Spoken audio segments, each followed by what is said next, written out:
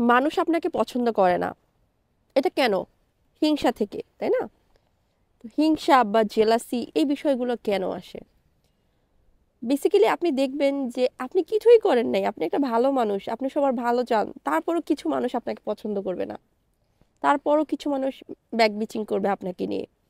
তো এক্ষেত্রে আসলে আপনার প্রবলেমটা কোথায় বা আপনি কি আসলে দোষী? নাকি কোন কারণে আসলে আপনার সাথে এই জিনিসগুলো হয়? সামটাইমস আমরা এটা ফিল করি যে আমাদের আশেপাশের মানুষগুলো আমাদের সাথে ভালো থাকে, কিন্তু পিছনে আমাদের ব্যাক বিচিং করে অথবা আমাদেরকে পছন্দ করে না। সামহাও আমরা এটা বুঝতে পারি বা বিহেভিয়ারে এটা প্রকাশ পায়। তো আসলে এই জিনিসগুলো কেন হয় বা জেলাসিটা কেন আসে? দেখেন তিনটা কারণ, তিনটা মেজর কারণে মানুষ আপনাকে হিংসা করবে বা আপনার উপর জেলাস থাকবে। তার প্রথম কারণটা হচ্ছে যদি আপনার থেকে সুবিধা নিতে নিতে নিতে নিতে তার একটা অভ্যাস হয়ে যায় এবং একটা লং রান মানে ইন দ্য লং রান যে আপনার কাছ থেকে যদি কোনো সুবিধা বা বেনিফিট সে না হয়, তখন সে আপনাকে পছন্দ করবে না। মানে আপনার কাছ থেকে যেমন আমার কিছু ফ্রেন্ড ছিল যারা আমার থেকে জামা নিত, আমি যেখানে জব করতাম সেখানে তাদেরকে চেষ্টা করেছি জব দেওয়ার। আমার থেকে ড্রেস আমার থেকে অর্নামেন্টস মানে যখন আমাদের আসলে টিন এজ বয়স ছিল, তখনকার কথা বলছি তো সব কিছু নিত। যে আমি কোনো কিছুতে একদিন মানা করলাম যে, না, এটা তো আমি পড়ব এটা তো আমি দিতে পারতেছি না সরি ওই দিন থেকেই কেন জানি রাগ, হপ, কথা বলে না ফোন দিলে ধরে না। আস্তে আস্তে ডিস্টেন্স ডিস্টেন্স থেকে সে আমাকে একদম দেখতেই পারে না। তো এইটা বেশিরভাগ মেয়েদের ক্ষেত্রেই হয়। ছেলেদের ক্ষেত্রে এই বিষয়গুলো এত এত সিরিয়াস নয় ওরা যত বড় জিনিসই হোক না কেন, ওদের ফ্রেন্ডশিপটা খুব স্ট্রং মেয়েদের ক্ষেত্রে ফ্রেন্ডশিপগুলো থাকে না, কোনোটাই থাকে না। আমার বহুত ফ্রেন্ড ছিল বাট এখন নাই। আর দিনদার দিনই পরিবেশে আসার পরে তো আরও নাই। কারণ আমি তো চাইলেই ওদের সাথে এখন ঘুরে সেভাবে আগের মতো হতে পারব না, তাই না? তো এটা হচ্ছে কি প্রথম রিজন যে আপনার থেকে সুবিধা যখন নিতে পারবে না, তখনই আপনাকে হিংসা করবে, তখনই আপনার নামে বাজে কথা বলবে এবং তখনই আপনাকে সে পছন্দ করবে না। নাম্বার টু রিজন কি? নাম্বার টু রিজন হচ্ছে গিয়ে দি ক্র্যাপ থিওরি ক্র্যাপ থিওরিটা মনে হয় মোটামুটি আমরা সবাই জানি কম বেশি। যে একটা বাক্সের মধ্যে যখন আপনি অনেকগুলো কাঁকড়াকে রেখে দিবেন ক্র্যাবকেও রেখে দিবেন, সেই ক্র্যাবগুলো কি করবে? একটা যখন উপরে উঠতে চায়, তখন নিচ থেকে আরেকটা ক্র্যাব মানে কাঁকড়া ওকে টেনে নামায় ফেলে।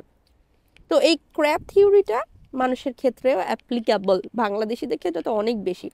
মানে আপনি ভালো কিছু করতেছেন এইটাই তাদের জেলাসির কারণ, এটাই তাদের হিংসার কারণ।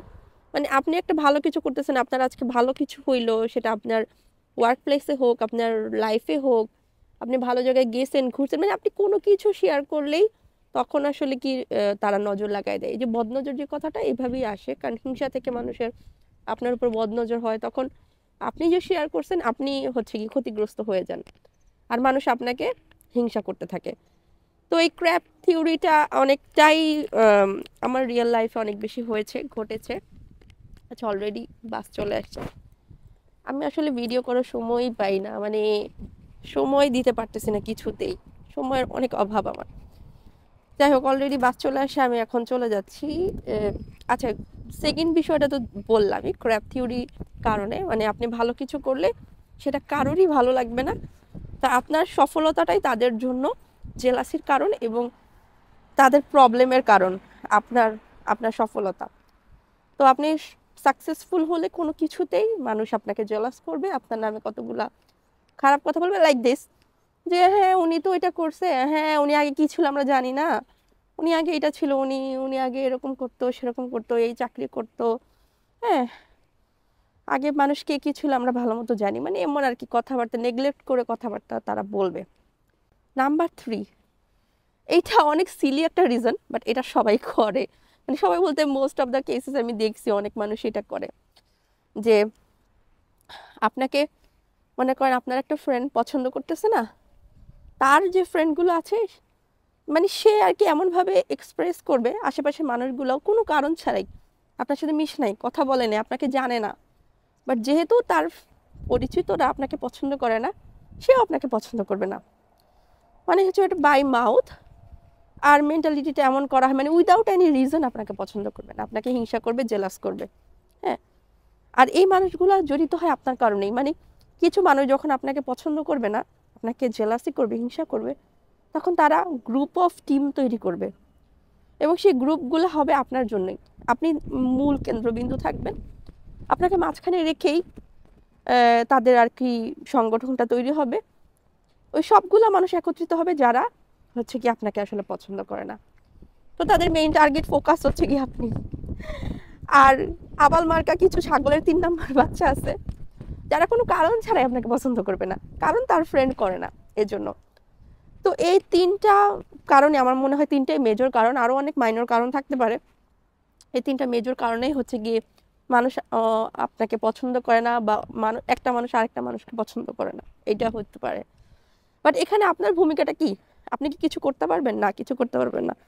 আপনার মনে রাখতে হবে, আপনি মানুষের ভালোবাসা পাইতে হইলে আপনাকে কষ্ট পাইতে হবে। মানুষ আপনাকে কখনো কেউ হান্ড্রেড পার্সেন্ট ভালোবাসবে না ইভেন আপনার ফ্যামিলি মেম্বারও না, ঠিক আছে? সো মানুষের ভালোবাসা পাওয়ার আশা না করা এটাই সবচেয়ে উত্তম হ্যাঁ? আপনি যখন যার জন্য কিছু করবেন ফিসাবিল্লাহ আল্লাহর উদ্দেশ্যে, আল্লাহর ভালোবাসার উদ্দেশ্য করে দিবেন, শেষ। তার থেকে কিছু বেনিফিট পাইতে হবে বা তার থেকে কিছু ফিডব্যাক পাইতে হবে বা আপনি যেভাবে ভালোবাসতেছেন, সেও আপনাকে ওইভাবে ভালোবাসবে। এই আশা করাটা একদমই অহেতুক। এটা হাজবেন্ডের ক্ষেত্রেও সেম ওয়াইফের ক্ষেত্রেও সেম আপনি তাকে যতটুকু ভালোবাসেন, বাসেন, শেষ। এটার জন্য আপনি বিনিময় পাবেন, সেই আশা করলে আপনি কষ্ট পাবেন। বিকজ মানুষ এরকমই। মানুষের ক্যারেক্টারটা এরকমই। কেউই আসলে প্রকৃত প্রকৃত মানুষ না আমরা আসলে কেউই। তো আপনি এখন মানে নিজেকে আসলে গিলটি ফিল করানোর কিছু নেই। আমি অনেক সময় দেখছি, অনেকেই বলে যে, উনি আমার সাথে এমন করল কেন? এই সেই।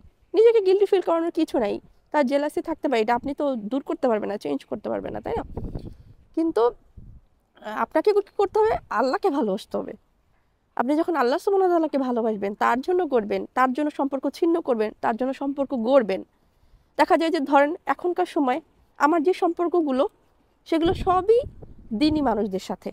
হ্যাঁ দুনিয়াবি মানুষের সাথে আমার কোনো সম্পর্ক নাই। টোটালি নাই, একদম টোটালি নেই।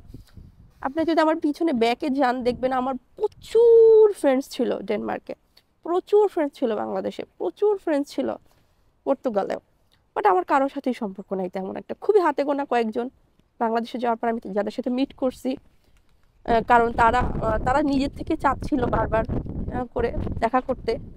তো কিছু দুনিয়াবি মানুষ আছে বাট তারা আসলে খুব ক্লোজ ফ্রেন্ড বাট আদারওয়াইজ আমি কারোর সাথে মিট করি করিনি কারণ আমি আমি একটু দিনই কাজে বিজি ছিলাম।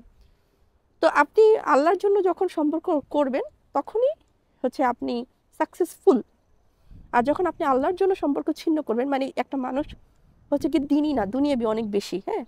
সে কোনো কিছুতেই নাই এবং আপনাকে ইন্সপায়ার করে, আপনাকে বারবার বলে, চলো আমরা এখানে যাই, চলো আমরা এটা করি, সেটা করি। যেগুলো আসলে গিয়ে পাপের মধ্যে লিপ্ত হওয়া বলে। তো সেরকম মানুষের থেকে দূরে থাকতে হবে। যখন আপনি এটা দূরে থাকবেন, আল্লাহর জন্য যখন আপনি দূরে থাকবেন, আল্লাহকে ভয় করে যখন আপনি দূরে থাকবেন, তখন হচ্ছে কি আপনি কারেক্ট তখনই হচ্ছে কি আপনি পারফেক্ট মুমিন হইতে পারবেন। এবং আপনি তখন সাকসেসফুল তো আমি এখন চলে যাব বাসায়। এই যে চলে আসছে আমার কাঙ্ক্ষিত বাস। আকসা এখন স্কুলে আছে। বাসায় যে আমার অনেক কাজ করতে হবে। হঠাৎ করে এটা মনে পড়ল, তাই ভাবলাম মোবাইলেই রেকর্ড করে ফেলি। কারণ পরে আমি টপিক ভুলে যাই। মনে থাকে না কিছু। তো আজকের মতো এই পর্যন্তই। আল্লাহ হাফেজ সবাইকে। আসসালামু আলাইকুম।